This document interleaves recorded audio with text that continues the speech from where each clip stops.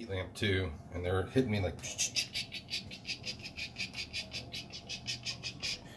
shocking me with a heat lamp. It's annoying as fuck. It's like it's immediately making me like like wave my hands above my hand. I'm like stop, stop, stop, stop. Like leave me the fuck alone. Like get the fuck away from me. Get the fuck off of me.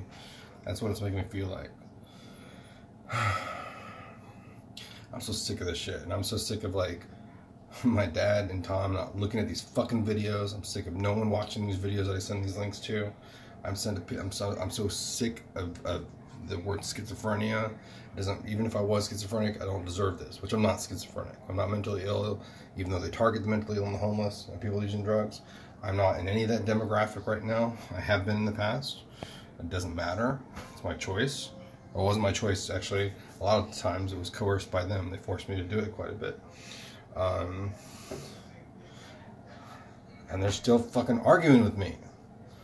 And like, no one will do anything about this. And this is like the most important thing in the world. And even they won't do anything about it to themselves. Not one person in that fucking group doesn't step forward. And this whole fucking script is probably written by them, which is the dumbest fucking thing in the world.